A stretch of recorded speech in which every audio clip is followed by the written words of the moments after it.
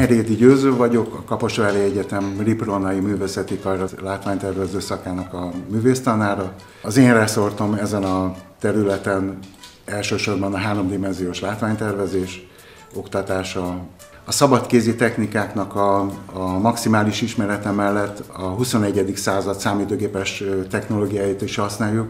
Éppen ezért a látványtervezés, a szabadkézi vonalzós szerkesztőceruzás technológiákon túl már a számítógép generálta terek képzésével foglalkozik, és ezen, ez az én egyik specialitásom ezen a szakon belül, hogy három dimenzióban építünk fel AutoCAD, illetve kedes alkalmazásokkal tereket, amiket akár fotorealisztikusan is tudunk ábrázolni, talán ebben egy kicsit speciálisabbak vagyunk, mint más iskoláknak a látványtervező, ahol kizárólag a szabadkézi technikák szerepelnek.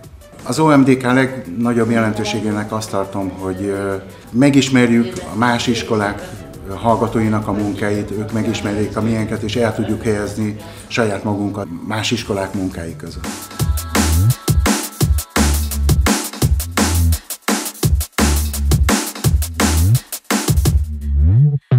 Mm-hmm.